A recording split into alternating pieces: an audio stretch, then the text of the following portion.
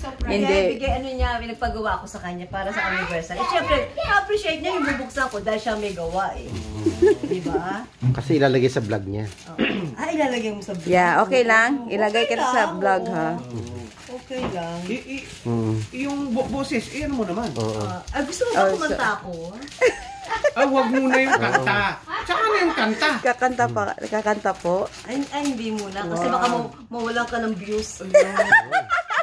Hindi pa niya na-practice yung kanta niya. May bago siyang kanta ngayon. Kayo talaga, Hindi na no? survive. Ano yung bagong kanta mo? Ah, secret!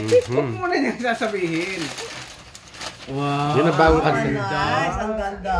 Ang ganda naman. Ang ganda naman niya. Wow. Namin Ah.